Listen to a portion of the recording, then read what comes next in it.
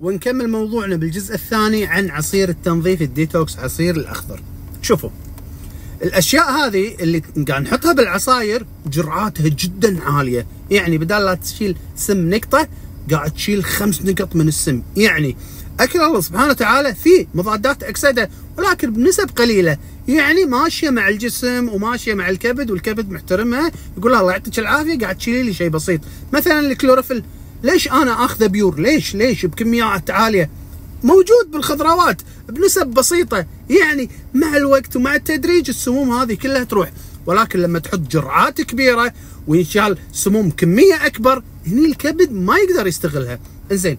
إنزين بس يعني ما يصير ناخذها لا تقدر تاخذها. بس شلون؟ أول شيء بجرعة قليلة جدا جدا جدا. يعني شفت ملعقة الشاي؟ هالكثر. إذا كان مثلا powder. أما تحط ملعقة عودة هذا غلط. ومره بالأسبوع مره بالأسبوع. وها وقبل لا ضروري جدا. أخوي الغالي الموضوع مو مسخرة. قبل لا تأخذ هالأمور على طول تسوي فحص. حق الكبد والكليتين الكلتين تشوف الكرياتينين آه، تشوف اليوريا. وضعهم طيب لأن لا يكونون بعد صاعدين وتقوم تصعدهم أكثر. ونشوف مثلا الكلتين نشوف آه، الألبيومين نشوف البليروبين نشوف في آه، في أنزيم اسمه ALT و AST نشوفهم شنو وضعهم.